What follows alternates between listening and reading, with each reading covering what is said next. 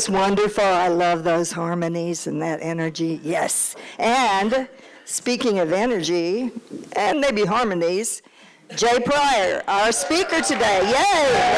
Yay! Good morning. It's so nice to be with you. If you don't know me, my name is Jay Pryor, and I'm a lay member of this congregation.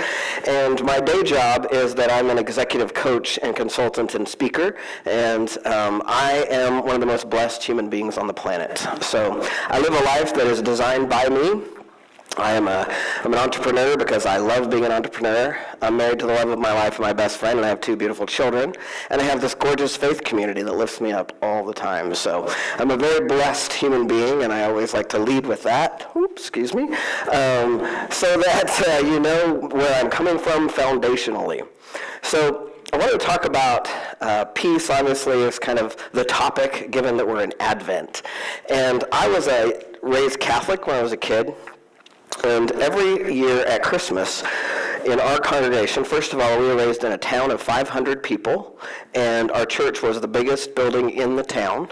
And, um, and it was traditional as you grew up in this congregation that you would get to different ages, and at different ages you would have different roles at Christmas time. So there were very traditional things that we did every year. One of them is that we did, we made sandbags, for example. When you got to be in like junior high, almost almost high school. So you'd be in a, high school kids would do the CYO. They would put out the sandbags. And they would take paper bags and they'd put, we'd put sand in the bag and then we'd put a candle in them. And we would light the pathway to the church. So when you came to, to midnight mass, which we always had midnight mass, it would be really dark and you'd come up to the church and just be gorgeous, right? These beautiful, and they were made, they were made of paper bags and sand. But it was just this gorgeous, you know, welcoming, like this is what is welcoming you when you were a little bit younger, part of your, um, in like especially maybe sixth grade, and you were a girl, which I was, if you don't also know me, my story is I was born female. I lived over uh, as in woman's skin, as like I like to call it, until I was 35. Last year I went off testosterone, so I now have my woman's butt back. Um, I bought this suit in my man body, and I put it on this morning. I was like, damn. Uh, so you know, that's how it goes. Uh, but when I was a little girl, it was like the thing to be able to be old enough to be in the pageant where you got to wear white robes and you got to hold stars on your hands and you would dance the uh, you would dance to Do We Hear What I Hear and Away in the Manger, all the songs at the beginning of of church, and it was just I mean every year, right? I was just saying, you know, as you got older, it was like you got different roles to participate in church. So when Jessica and I got together, both of us had been raised in very uh, traditional. Um, she was raised in Missouri Synod Lutheran, and I was raised a Catholic, and we were both raised very traditionally in very had traditional things we did. And having an Advent wreath was one of those things. And so when we first got together, we, and especially when we were having kids, and I think we did it before we had kids, we got our own Advent wreath. And one of the things I loved was that Unity sends us a booklet and walks us through Advent Advent. And for me, that was very, um, it was almost healing a little bit, right? Because I wanted some tradition, right? I wanted some kind, I had a longing for that tradition. If you're raised Catholic, and I know many of you were, part of the pain of leaving the church is leaving those traditions, right? So leaving that stuff that you know, that you just, it's so in you that it's just rote, right? I could still probably say the Nicene Creed, you know, any day because I haven't memorized, right, from the time I was a little kid. And so and then in addition to that, we read studies about the fact that um, kids who have traditions in their lives tend to be more successful right, tend to have um, a more grounded, rooted in, in family that have traditions. So one of the things that Jessica and I did as we got together was we started our own family traditions. One of those was Advent, and having the Advent wreath, and then we have the Advent booklet that I always send off for. We have them out in the hallway if you haven't gotten one. We're just asking for a dollar donation. And they'll walk you through every day of Advent. So last week we celebrated faith. And it's interesting to me as I pay attention that faith always comes, for me anyway, right at the time when we are looking at our checkbooks and looking at what we need to spend for Christmas and looking at the travel for Christmas and feeling like, you know, it's like, are we going to be able to do this, right? And then we light the faith candle, right? And I, every single time when we light the faith candle in the beginning of the week, I am fearful, right? I am not in faith. I am in fear, right? How are we going to do this? What's going to happen? It's fearful. And so last year, I very distinctly remember that it was faith, that, that first day of faith that I was like, oh God. And then, if I listen and I read and I practice what I know to do every week, by the time I get to this Sunday, I have a little peace. Have just enough peace, right? Because I've been doing my work. And last year, one of the things I loved is that one of the sometimes our booklet, which it did last year, focused way more intensely on the metaphysical interpretation of the Christmas story. And they were talking about Mary. And when it came to faith, Mary was the symbol of faith and clarity and resilience. And I really related to that. In fact, I took those on as my words for this for this past year. Resilience, faith, clarity. Those are some of the things I really needed last year. And this year, as I picked up that book, and I thought, oh, they're not talking about that this year. It's a totally different version of faith. But all throughout the week, I've been reading my booklet and getting more and more faithful. And then, as we came up on this talk about peace, I wanted to get real with you about that because I know that as a human being, we come into this world and we just cannot expect a life that is just a constant, you know, all's good, it's all good. now, if you've had that life, bless you. Oh my goodness, bless you, bless you, bless you, bless you. I have not had that life. um, today we're so we're becoming to be a culture that is really conscious of mental health and we're really conscious of our brain and some of the things that we do.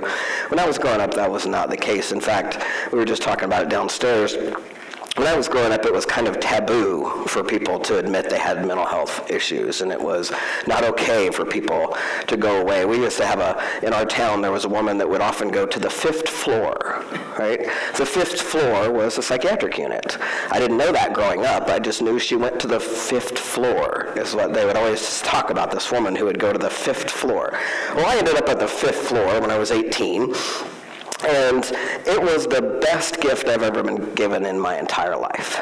My first trauma, there's something we call ACEs scores today. If you're familiar with ACEs scores, a few people, not a lot of you though, so let me, let me explain this to you. Today, psychologists and people who deal in the mental health world look at what someone's ACE score is. And ACE stands for Adverse Childhood Experience. So if you have had a lot of ACEs in your life, you've had a lot of adverse childhood experiences, we know that you have more trauma to your brain right? Because every time you've had an adverse childhood experience, it can cause trauma in your brain, and therefore, perhaps might keep you from experiencing peace over someone who has had less adverse childhood experiences. So as I was thinking about this talk, I was thinking about one of my first traumas was the death of my sister. So I was six years old, and I had a sister, excuse me, who was, uh, when I was born, I was born into a family who had a terminally ill child. So my sister was terminally ill um, from the age of eight until she died at the age of 17. Now, she couldn't go to school. So she stayed home, and my mom worked full time in the grocery store that was attached to our house. So when I was an infant and my mom needed to go into the store, she would give me to my sister who was in bed, who was terminally ill.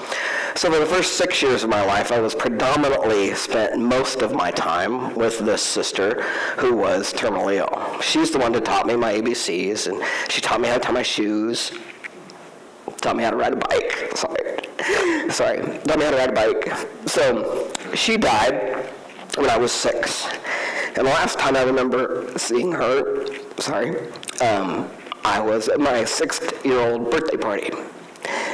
And uh, she was, I remember overhearing a conversation, I have really good ears, and overhearing a conversation with my mom telling her that she looked tired and she should go lay down and rest. And my sister said, It's Janet's birthday. My girl name was Janet. It's Janet's birthday. I'm not going to go lay down. And the next thing I know, she's going to the hospital. And my sister went to the hospital a lot when I was little. She would start throwing up blood and get sent to the hospital. She would always come back within a couple of weeks. So I figured this is just normal, right? Like she's just going to go to the hospital and then she'll be back. Two weeks came and went. She didn't come back. 30 days later, she died. So being in my small brain, that was my fault. It was my birthday, right? Now, when I was a little kid, we didn't talk to kids like we do now. We didn't understand that we needed to talk to children about these things. So basically, you know, we just didn't talk about it that lot in my family. Also, the great good alcoholic family we were from, we don't talk about anything. So we're going to talk about that. so I remember very distinctly a situation that happened the following year. That was in between, she died in between my kindergarten and first grade year. So I remember very distinctly being in, being in first grade. And at some point, and I don't even to this day could not tell you what it was, but I just turned around with a black crayon and started scribbling all over the back of my chair. And it was a plastic, little plastic chair. And my first grade teacher was somebody who was pretty harsh. She used to pull us by our ears and make us stand with our nose in the chalkboard and things like that. But I remember her bringing my mom in to talk to me about this thing that I had done, where I had turned around and scribbled on the back of my chair. And I remember distinctly that what they asked me was, Why did you do that? Now, my son Emmett will tell you that that's his least favorite question is why, right? Why do you do that? And I understand that because I didn't have an answer for that. Why did you do that? Now in my, you know, 53-year-old brain, I could say because I was pissed off, right? Because I was devastated, because I was freaked out, right? But I didn't have those words, so I was just guilty. All right? So one of the things that happened to me as I grew up and I went through life and I was a suicidal youth and I tried to kill myself and landed in a psychiatric unit. And then from there, I came to Lawrence, Kansas and put myself into Alcoholics Anonymous. At the time, I had been drinking my way through high school, so it seemed appropriate that I end up in Alcoholics Anonymous. And I spent five years clean and sober in AA, and it was, again, for me, one of the best things that ever happened to me. It gave me a foundation of and tools that I still use. And there were people there, people that looked to me and saw something different than what I saw. Because all I could see was that I was somebody who was pissed. that was somebody who like didn't want people to be near me. And I had a story that if you got too close to me, you would die. So I was so blessed to find people like Sharon Dwyer Sharon Dwyer and I go back 35 years. Yeah. Sharon was somebody who served as a role of what they call a sponsor for me at times. If I would be freaked out about something, I could call Sharon. And Sharon lived on Kentucky Street in this cool apartment in that cool brick building on Kentucky Street. And she'd me come over and sit on her porch and uh, have a tea or a coffee and talk, right? And so Sharon taught me, and the people who served me then in those rooms taught me what I consider the key to peace now, and that is willingness. Willingness. Because what I know now is that all of us have stuff happen to us, right? Eric Butterworth is one of our great leaders and teachers that I love very much. And Eric Butterworth says, things will happen around you. Things will happen to you. But the only thing that matters is what happens in you and within you. And so what I learned at the tender age of 18, 19, 20 was that I am, it starts here, and I have to be willing to feel differently, to think differently, to move from where I am to a new place. And that tool of willingness has been with me my whole life. And I'm blessed to have been just in such an intense situation so early in my life that I, at the time, didn't feel like I had a choice to do anything but get willing, right? And so when I got willing, I learned the serenity prayer. And the serenity prayer then, for me, was God grant me the serenity. And then, for me, God was out there still. God was had to grant me that serenity. God had to grant me the courage, the wisdom to know the difference. Then I moved on through life, and other things happened, and some of those things were traumatic. I've had friends who've lost their lives because they're transgender people and they couldn't handle it, and so they killed themselves. And today is the anniversary of the death of my mom. And when she died in 2011, that year for me was a very intense year. That year started out with Jessica and I starting to, my birth year started out with Jessica and I working on becoming foster parents and going through that process. And then our dog died of 16 years, who was our baby. And then the next month, I donated a kidney. And then a couple of months later, we got Emmett into our lives, and we were brand new parents and had no sleep. And three months later, my mom died. And 13 days after my mom died, Rose came into our lives. So we had two babies, and we were had a lot going on. I was grieving my mother, and then a month later, the cousin I donated the kidney to died. So, right? It sounds like a bad country song, doesn't it? It's like, who's going to live through that? Right? Well, I will tell you that it was a time in my life, much like when I was 18, when I could find no peace. And yet, I had this willingness, right? I had a willingness because I knew that if I was willing, that I could find it, that I would be able to find it. And once again, it came back to other people being able to be there for me to show me how to access it. And at that time, it was y'all. It was this community. And at that time, our reverend was, the reverend that we had here was way big on being still and finding peace in stillness. Now, y'all who know me know I don't stop moving much, and I'm quick, and I'm ah, I'm talking all the time. You want me to sit still? and I had done meditation, my version of meditation before, and I'd learned that. It's like just repeat the Serenity Prayer over and over and over and over and over and over and over again, and that worked for me, right? But it wasn't working anymore. And the stuff that I'd done before wasn't working anymore. And so I had but I was willing. And so I took the time to start being still.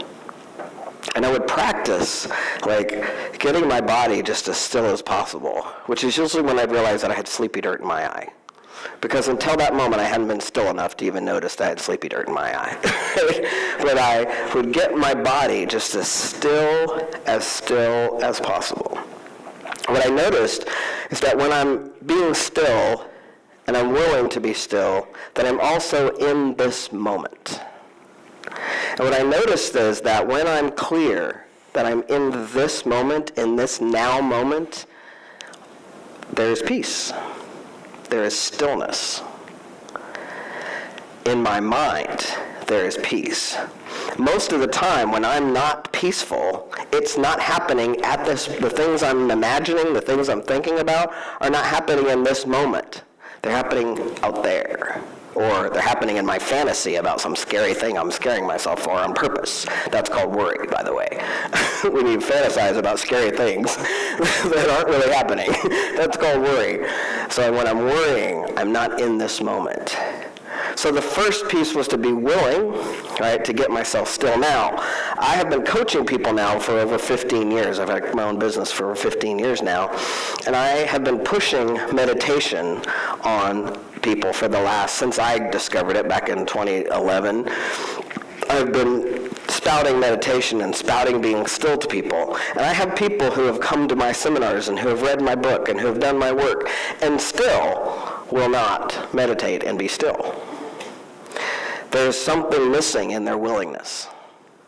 There's something about being stirred up and having your mind on drama that really does have some juice in it sometimes, right?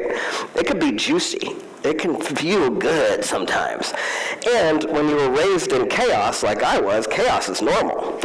so it's easy to roll around in chaos. It's easy. That's the easy way. But the willingness to be still, the willingness to just sit still for a bit. And when I did that, I discovered that there was this power within me. And I discovered that the phrase, there is a power within me that is greater than any circumstance before me, started to become real for me.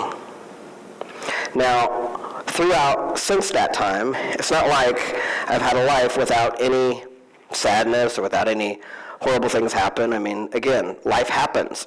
stuff happens to me, stuff happens around me. But what I'm clear about is that what matters most is what happens within me. And that when I am willing, when I'm willing, I now have an avenue that can get me back to the serenity prayer that I know now. And for me, the serenity the prayer that I know now, because of New Thought teachings, because I'm a truth student, because I'm here with unity, is that I am, I am the serenity to accept the things I cannot change. I am the courage to change the things I can. And I am the wisdom to know the difference when I found that, when I got there, then for me there's no denying that peace is always within my grasp when I'm willing and ready to be still.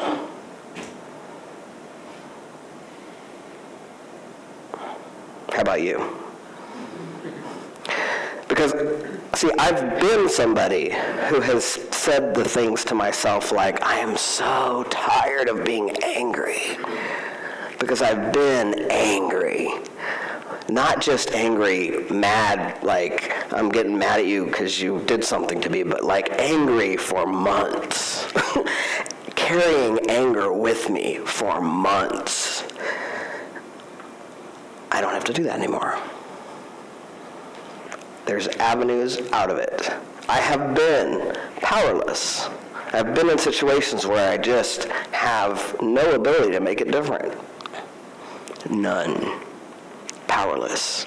And I have lived in fear that is so gripping that it makes me feel like I can't move. And all of those things for me are the opposite of peace. And yet, all of those things are things that still get generated within me, just like peace does. And so, learning to manage my mind, having the willingness to be still, and the knowing, and this is where I love this word knowing, because for me, there's a big difference between what I believe and what I know. And now I have a knowing that peace is within my reach in this moment anytime I'm willing to get still, be in this moment, and affirm that it's mine.